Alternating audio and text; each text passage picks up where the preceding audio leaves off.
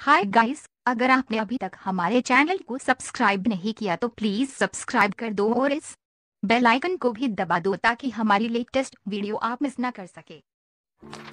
दोस्तों वीडियो को शुरू करने से पहले लाइक के बटन पर क्लिक करना भूलना मत और एक कमेंट ज़रूर करें कि आपको ये वीडियो कैसी लगी।